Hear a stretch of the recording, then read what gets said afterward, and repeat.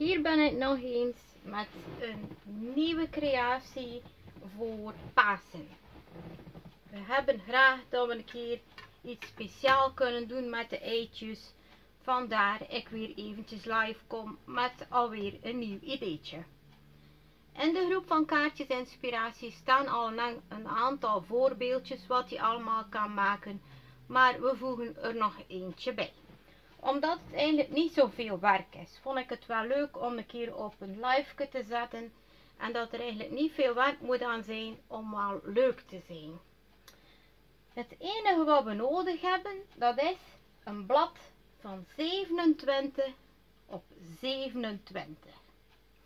Ik heb nogal een dik kaartstok genomen, omdat het een mandje wordt en als je het dan vult met eitjes, dan de eitjes natuurlijk niet direct door het mandje vallen.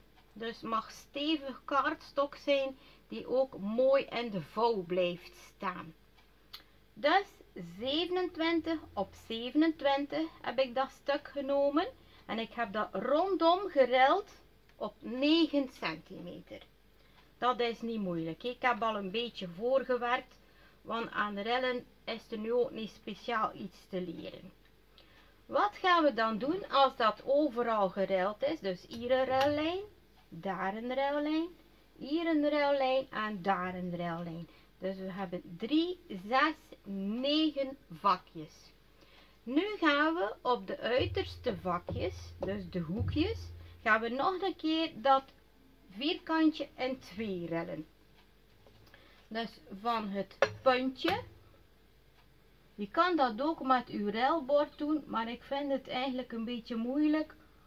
Omdat het naar een buitenkant gaat en tegen dat je geprobeerd hebt van je blad juist te leggen, heb je al gedaan om het met de hand te rillen. Dus één hoekje, we gaan naar het volgende hoekje. Van in het punt tot aan de andere punt. Daar zetten we weer goed de rillijn in draaien we het blad door. Weer ons hoek van punt naar punt. Weer een rijlijntje. En de laatste hoek dat we draaien. Weer van puntje naar puntje. Voilà. En nu mag alles een keer mooi geplooid worden. Dus maar eerst beginnen met de grotere lijnen te plooien. Er een goed duwken aan geven. De tweede lijn.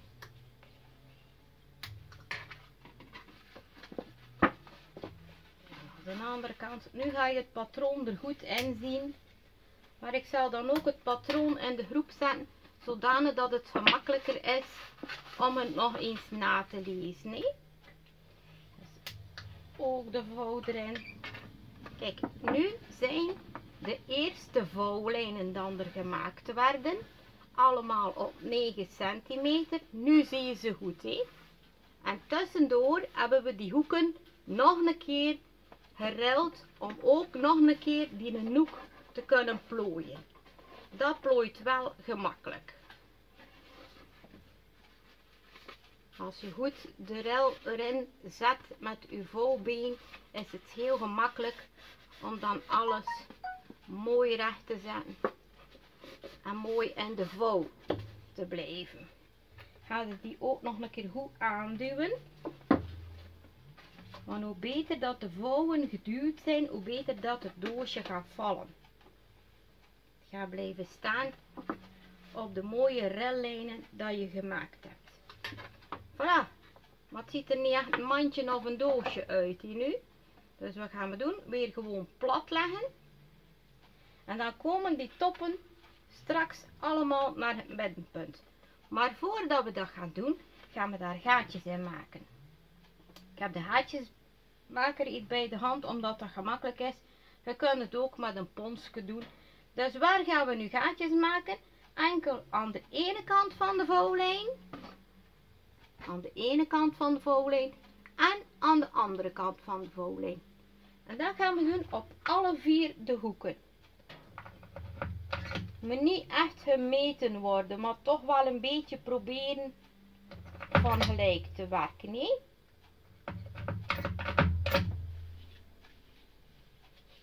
Het andere hoekje. Weer aan de rellijn. De andere kant van de rellijn. Dan gaan we draaien. Weer aan de hoek. Eentje boven de rellijn. Eentje eronder. En de laatste hoek. Juist hetzelfde. Van boven. En van onder. Dan ik goed duwen omdat het harde kaartstok is. He. Dus ziet de rellijn dat we gemaakt hebben. Een gaatje aan de ene kant en een gaatje aan de kant. Dat gaan we straks nodig hebben om het doosje te kunnen toeplooien. Maar terwijl dat doosje nu nog open ligt, ga ik dat doosje versieren. Ga ik hier eerst alle stukjes uit de gaatjes doen. Voilà. Dus eigenlijk is het grootste werk al gedaan, want nu moeten we niet meer nadenken.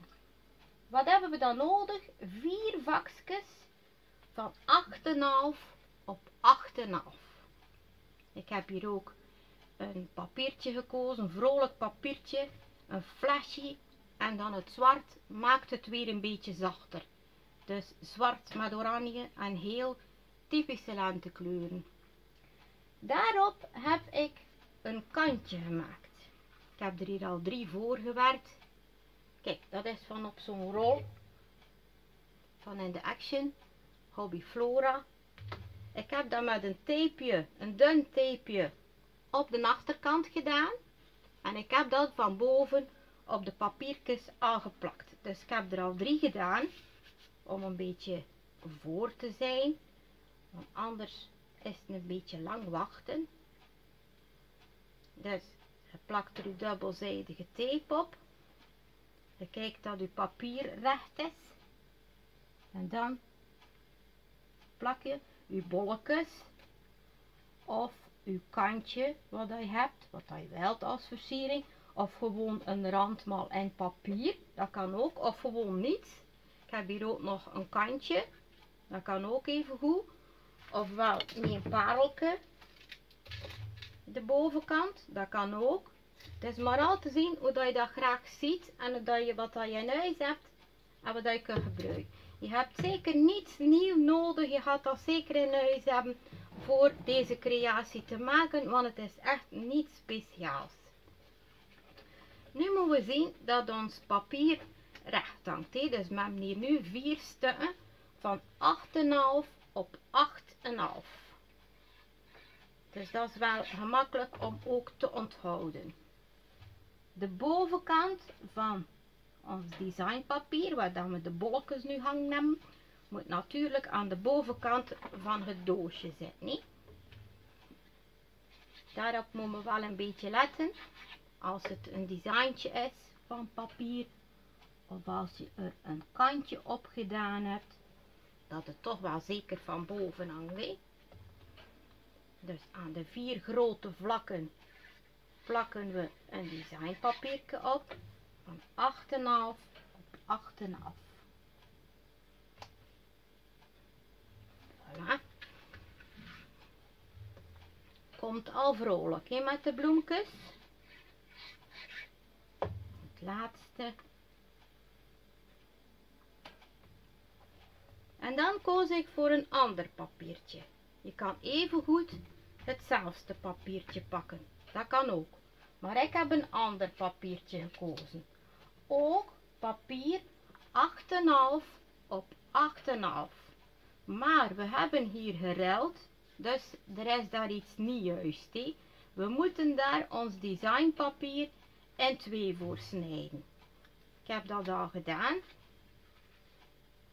Voilà. Zo en zo. Dus het is daar niets niet moeilijk aan. Gewoon uw design van top tot top doorsnijden. Vandaar een beetje voorgewerkt, want het is daar niets moeilijks aan. Hè?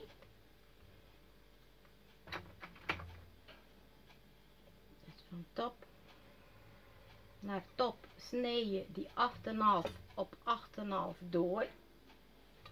En dan heb je van alle vier de hoeken ook in twee gesneden.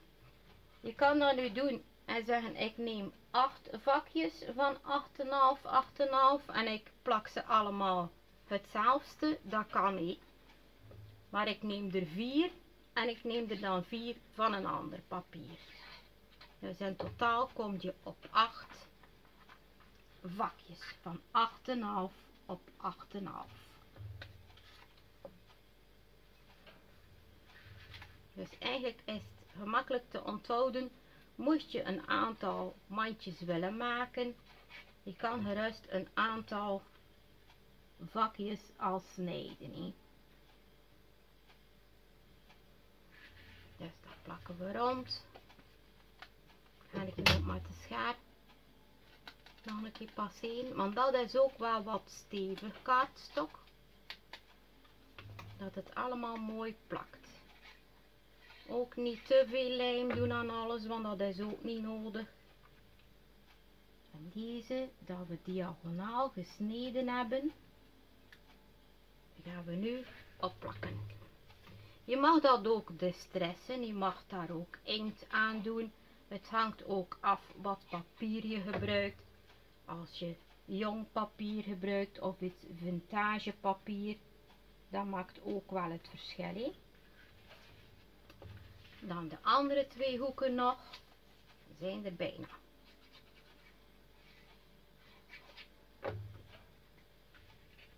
Het is niet moeilijk om te snijden, het zijn allemaal gelijke stukken.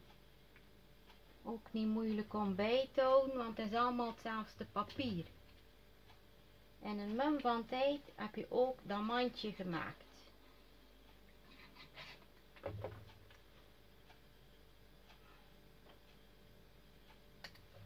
Voilà. En nu nog één hoek. En we zijn aangekomen. Ik heb nu natuurlijk de haartjes gemaakt in de kaartstok en nu plak je er designpapier op. Nu zie je de gaatjes niet meer. En we hebben die haartjes nodig. Maar ik vind als je de haartjes maakt op voorhand, het is al dikke kaartstok. Je ziet, je moest dan een keer of drie duwen eer dat je door die kaartstok zet. Dan vind ik als je het helemaal opmaakt en je moet dan nog gaatjes maken, is het dan heel hard vind ik. Want ik kies wel voor een, een harder papier. Dus wat doen we dan? We moeten onze haartjes terug hebben. Dan gaan we ons werk gewoon draaien. En dan gaan we nog een keer op de achterkant. Ziet? Maar nu moet je maar door één laag niet meer. Anders moet je dwars door alles.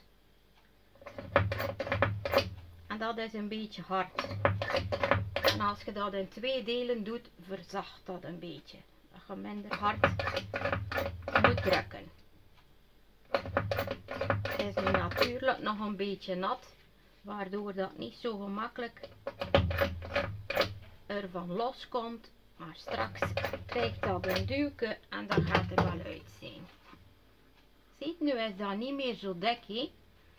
Als je door de kaartstok en designpapier moet, is dat een heel dikke laag. Voilà. Hier strook uit. Dit, en dan als het in twee delen doet, zijn mooie haartjes, hè, want je zag de vorige gaatjes al. Voilà, er zijn er overal gaatjes in. Dat is de creatie dat we gemaakt hebben. Alleszins oppassen dat de bovenkant naar de bovenkant van het doosje wijst. En dan gaan we het doosje maken. De vouw gaat naar binnen. Dus die vouw gaat ook naar binnen. Die vouw gaat ook naar binnen. En die vouw gaat ook naar binnen. En als dat een klein beetje naar elkaar gevormd is, gaat dat dan wel beter. En nu gaan we daar een mooi lintje in steken. Ik heb een fel oranje lintje gekozen, omdat ik dat wel heel graag zie. En op dat papier gaat dat natuurlijk wel mooi uitkomen. Eén hoekje branden we af, omdat het niet zo af uitrafelen. Want tegen dat je anders aan het eind van uw doos zet, is naaf van uw lint weg. Dus je steekt uw lintje erin. Ik heb ook geen te grote gaatjes genomen, omdat het zou passen. Maar dan is het een klein beetje meer prielwerk om ertussen te kunnen. Maar het is een hobby, we hebben tijd. Dan plooi je het weer een beetje dubbel. Dan kom je er weer uit. Ziet, je steekt het erin. Kom dan de andere kant eruit en je komt weer naar de binnenkant van je doosje. We gaan weer met ons lintje door het eerste gaatje naar buiten. En we komen weer langs het volgende haartje naar binnen. Zie, want dan zet op de binnenkant uw streepje van uw lintje. Gaan we weer verder. We pakken ons lintje. We gaan van binnen naar buiten. En we gaan van buiten weer naar binnen. Dat is wel een groot bakje. Dus kunt je daar al wat in kwijt. We hebben al een paar creaties gemaakt met kleine mandjes of kleine doosjes. Maar nu is het wel een keer een groter bakje. Je kan er serieus veel eitjes of dergelijke in kwijt. Wat de klokken allemaal brengt. He? Dat is ook te zien. Je kunt dat gerust als cadeautje al gebruiken dat het eigenlijk groot is. En dan komen we weer rond. Ziet? We hebben nu alle vier de hoeken. Onze draad erin en aan de andere kant er weer uit. En nu kan je dat mooi toetrekken. Bij elkaar. En we maken daar een mooie strek van.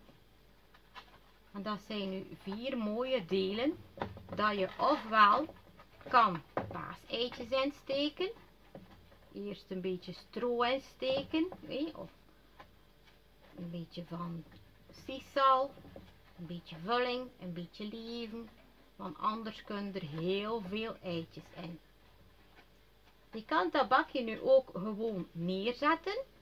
Maar wil je het bakje bijvoorbeeld in de boom hangen. Of buiten hangen. Dan kan het ook. Dan maak je hier gewoon een knoop en laat je het hangen.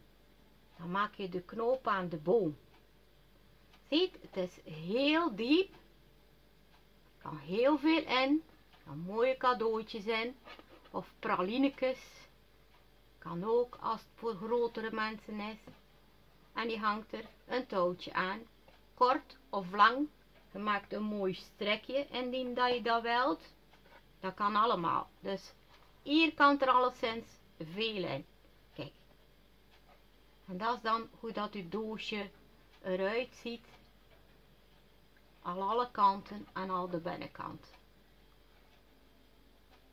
Voilà. Dat was het weer. Een leuke attentie voor Pasen of eventueel elders op het jaar kan het ook nog gebruikt worden als je een cadeautje moet geven of voor een spoedig herstel. Dan steek je een zeepje in of een spons dat je kunt erbij steken of vier stukjes uh, eau de toilet en een zeepje. Dat kan ook allemaal. He. Dus het is niet enkel voor Pasen, maar je kan het heel gerust ook gebruiken als je op ziekenbezoek moet gaan. Of een zomaar cadeautje, dat kan ook. Of een wellnessbon en dan dat je grief insteekt, een gezichtsmasker of dergelijke. Het is altijd om te starten al een mooi cadeautje. Voilà, dat was weer wat ik wou zeggen in deze live. Weer een nieuwe creatie, niet veel werk, daar houden we van. Ik hoop dat je het leuk vond en dat ik ook de creaties van jullie mag zien in de groep van Kaartjes Inspiratie. En tot volgende keer weer. Doei!